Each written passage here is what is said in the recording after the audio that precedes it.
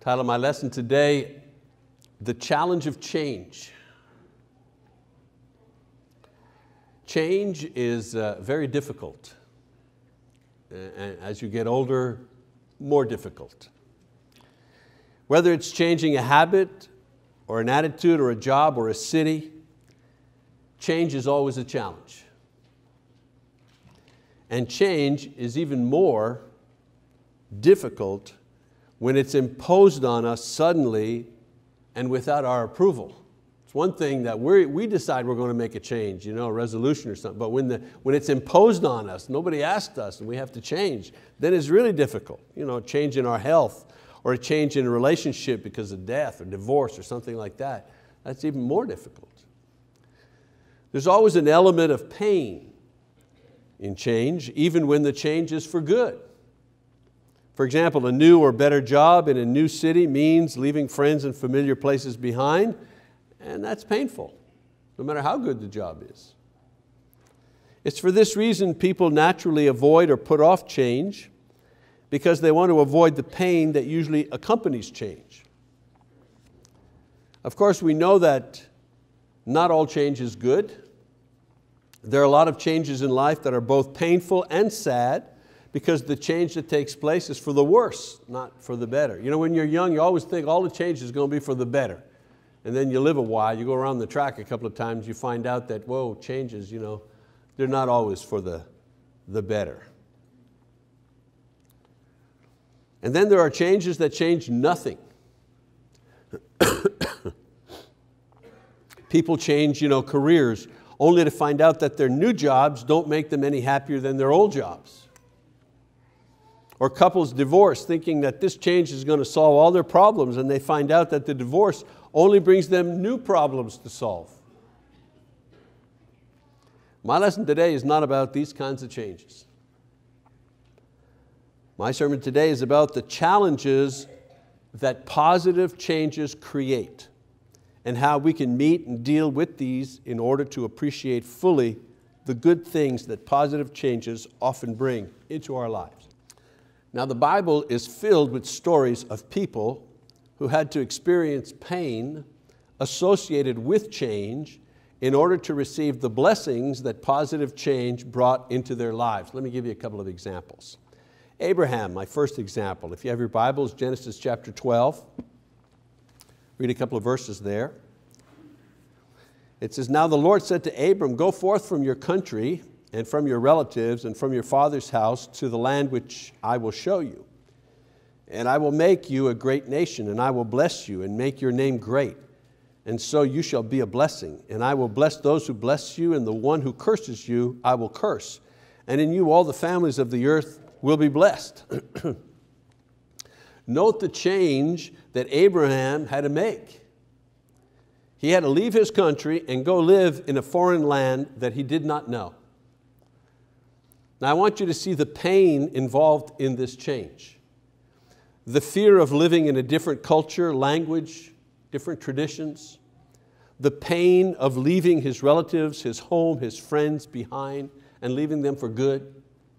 The risk of leaving the security of his home for the unknown place that God was sending him to. And of course, we need to balance that with the blessings associated with this change. His name and his family would be great. And God would give him many descendants. And the world would be blessed through him.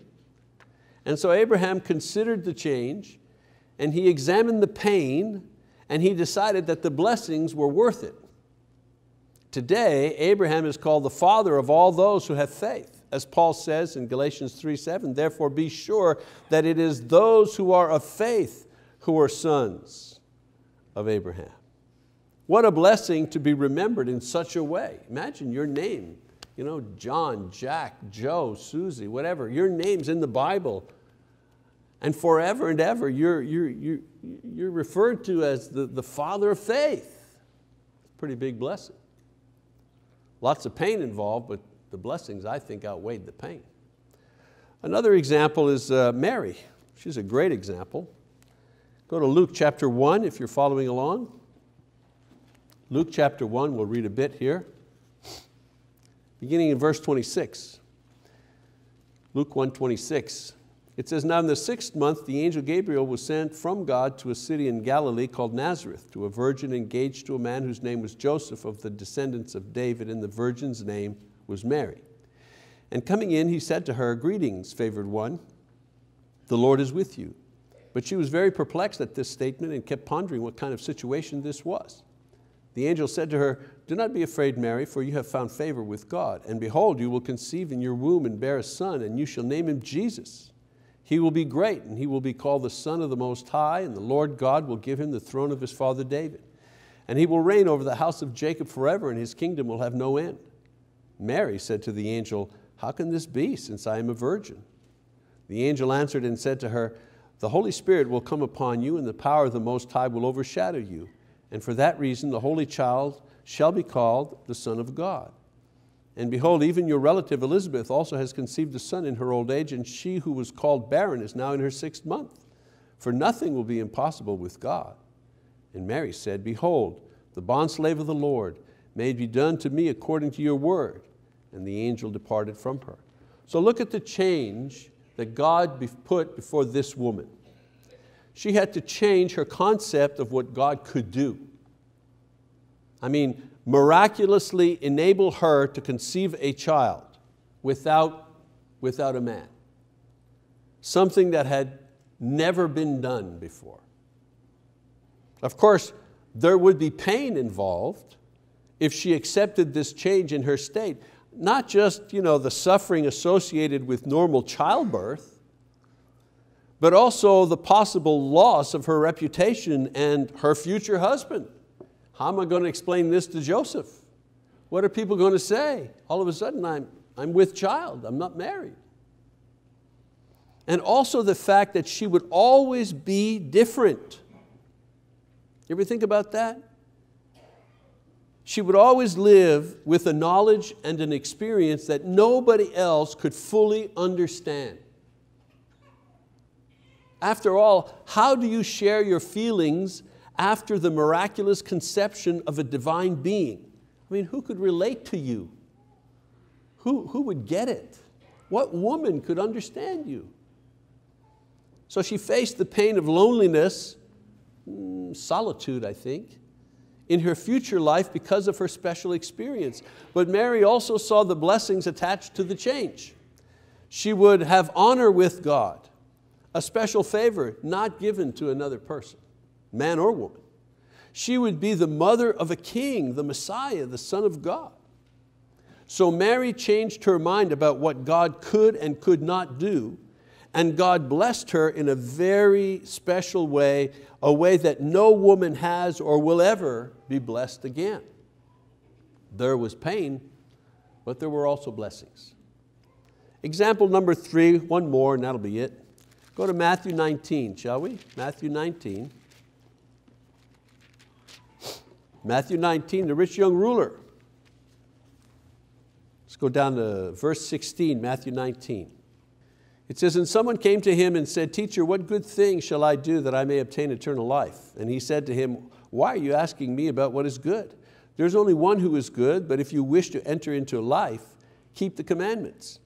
Then he said to him, Which ones? And Jesus said, You shall not commit murder, you shall not commit adultery, you shall not steal, you shall not bear false witness, honor your father and mother, and you shall love your neighbor as yourself.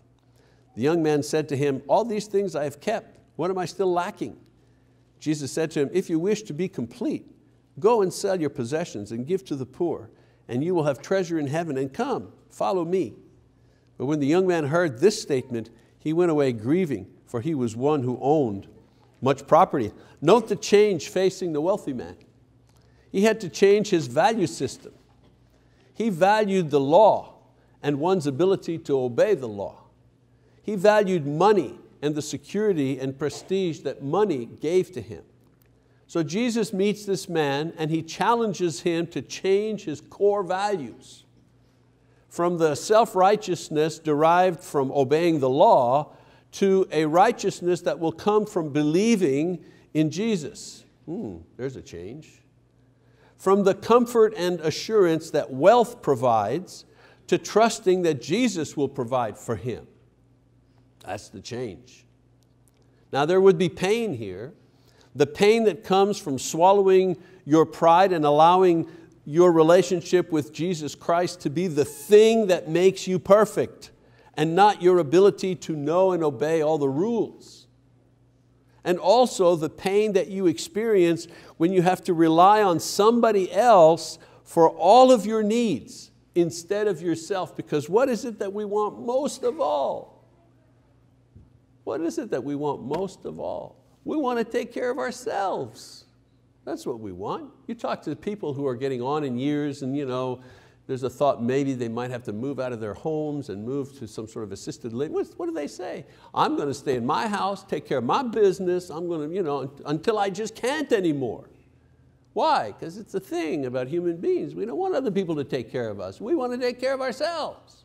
We want to pay our own way. We want to you know, do our own thing. We don't want to be dependent on anybody else.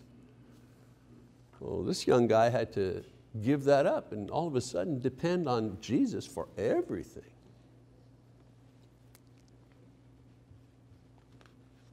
Of course, these were not things that caused physical pain, but the psychological and spiritual discomfort of these changes were very great for this man. And yet there was a great reward to be had for making these changes. Jesus personally asked this rich young ruler to come and follow him, just as he had personally asked James and John and Peter and Matthew, who all changed their lives and their beliefs and their jobs in order to follow Jesus as his apostles. I believe this young man could have been an apostle if he would have made the changes and followed Jesus. We could be reading one of his gospels or one of his epistles today. We could be talking about the miracles that he performed or the churches that he planted. But instead, he will always be remembered as the one who went away from Jesus sad because he couldn't change. So with all, discussion, with all this discussion about change, it brings us to a change that I would like to challenge each of us with beginning in this new year. I mean, there's a point to this lesson. I'm not just reading over passages that you're very familiar with for the sake of reading passages that you're familiar with. There's a point here, and, and I'm getting to that point. The change that I would like to lay before you concerns our faith. And here's the challenge. I want us to decide if our faith is going to be a part of our lives or if our faith will become our lives. That's the challenge. Let me explain the difference. When faith is part of our lives, we control it. When faith is our life, it controls us. For example, when faith is part of our lives, we do you know, just enough to feel you know, no guilt just enough to keep our membership steady at the church. They don't you know, erase us out of the uh, directory. But when our faith is our life, then we cannot do enough for God. As in every change, there is pain connected with this kind of transformation. The pain that comes with removing self as the focus of every decision and making Christ the one that you live for there is, for example, the inconvenience of making Jesus and His church a priority over career, recreation, even family at times. That's inconvenient. There's also the uneasiness we feel when we unplug ourselves from this world and its cares and its riches in order to pursue the kingdom of God as our first priority in everything. Well, Michael, that is, you know, you're getting to be a little zealous here. And of course, there's the embarrassment that we feel when others begin to mock and even persecute us as zealots because our religion has become our lives. You know, people do not mind if religion is just part of our lives, you know, like a hobby, but they get upset when it becomes our lives. And do you know why? Because it threatens them. You know, Muslim extremists, they threaten to kill you if you don't convert. But zealous Christians, they threaten to embarrass you if you don't get with the program. Oh, but there are blessings that come to us when this change is made. Jesus said, blessed are those who hunger and thirst for righteousness, for they shall be satisfied. You know, only those whose faith is their lives, only those people get to know what it's like to be hungry and thirsty for righteousness, and then they get to be satisfied. And most of the time we're afraid to hunger and thirst for righteousness because it'll upset the status quo in our living in the world. When your faith is your life, you are at peace with God. You're satisfied in the deepest recesses of your soul. Another benefit, Paul says, I have kept the faith. In the future there is laid up for me a crown of righteousness, 2 Timothy 4, 7, 8. Paul's life was his faith. And when he faced death, he was absolutely assured of his place in heaven. When your Christian uh, faith is your life, you are actually able to see and taste heaven here on earth, so you have no fear of death and you have no fear of leaving this world. So many people, it's not the, that you know, they're afraid of the pain of death, they just don't want to leave this place here. They like this place. And if we love this place so much, it's simply a signal that the kingdom is not inside of us.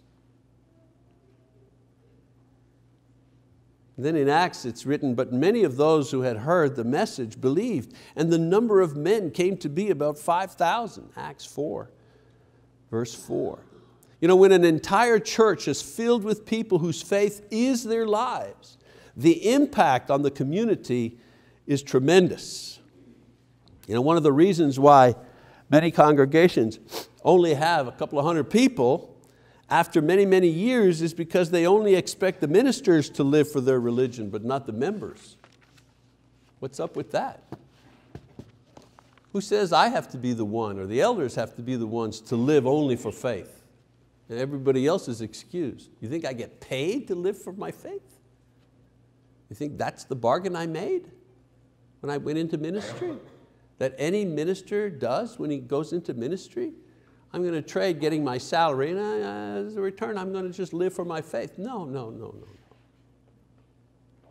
No, no, the way it works is you cannot not do this.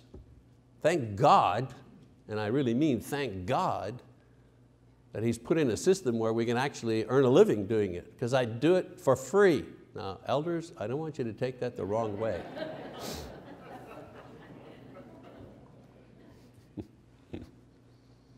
Know, you know what I'm saying. The, the perfect example is school teachers. Right? You know what I'm talking about. Why are they continually paid the lowest? Because they love what they do. They, they do it anyways. Right? It's a calling. They do it anyways. Give them 100,000 a year to do it, they'll do it. Give them 25 a year, they'll do it. Why? Because doing anything else doesn't make any sense. So next Sunday, the elders are going to, they're going to be talking about the budget. And by the way, I, I was not appointed to do this sermon because we're, you know, no.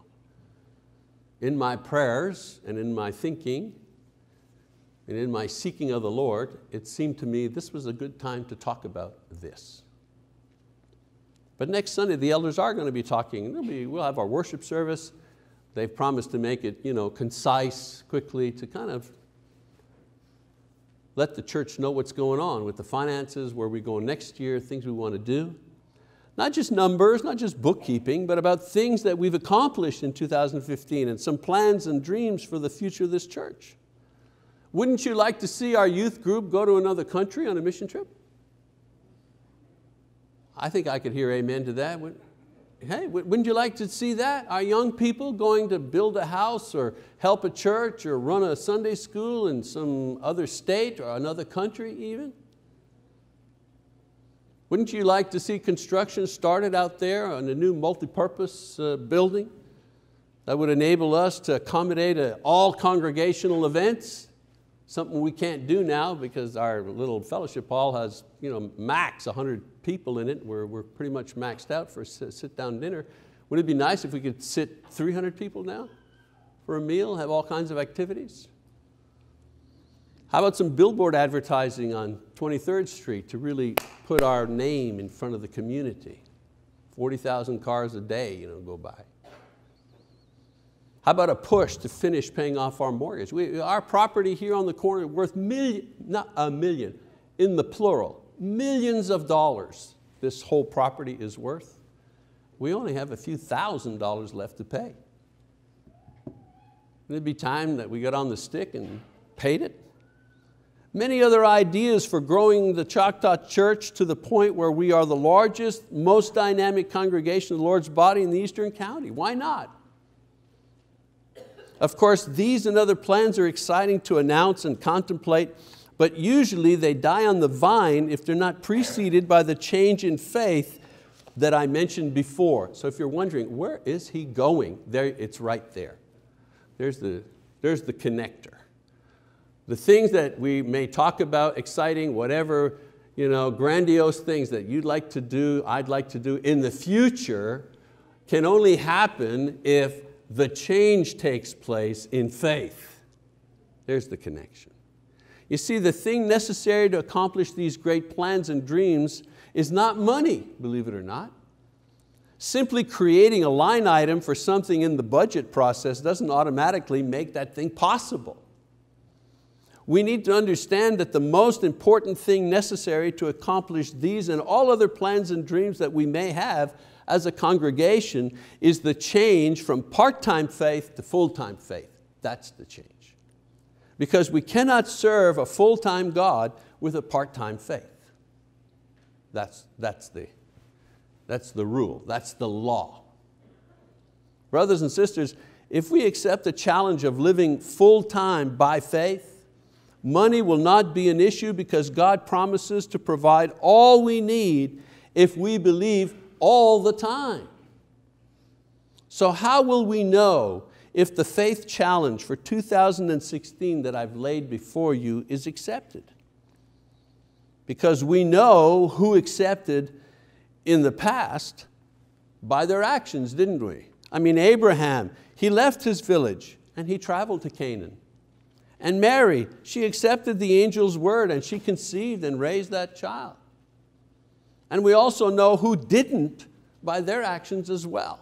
The rich young ruler sadly rejected Jesus' offer and left, never to be heard from again. You know, no, uh, uh, you know, no after story for that guy. He just disappears, you never see him again. Well, in the same way, we will see if more of our number accept the faith challenge in 2016. Now don't get me wrong, I'm not saying that no one here is living this way, of course not. Many are living what I'm talking about to a degree or another. My challenge to this congregation is that everybody up their game when it comes to faith in the coming year. Everybody does it. This will be evident and easy to see. Why? Because there'll be more people in Bible study and worship services on Sunday morning and Sunday night and Wednesday night. Why? Because doing this, that's a faith thing. That's a faith thing. And members will be bringing more guests. Why? Because people who do this, they're acting out of faith. It's a faith thing.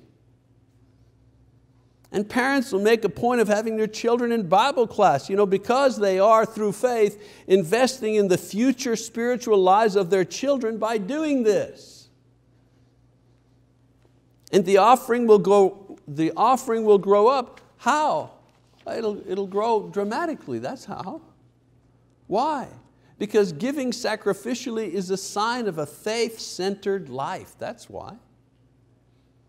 You know, more members will be active and involved. Some who have not done much beyond the attending of services will add to this by finding additional ways to serve and be involved.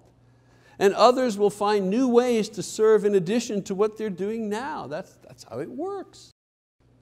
And those who have been giving responsibilities but have neglected them for whatever reasons will begin again to do their jobs and even train others for service.